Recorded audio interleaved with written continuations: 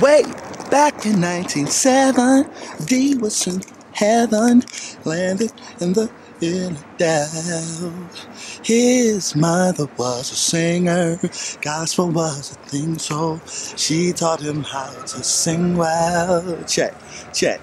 Up in 1980, D began rebelling. Hip hop was his type of high.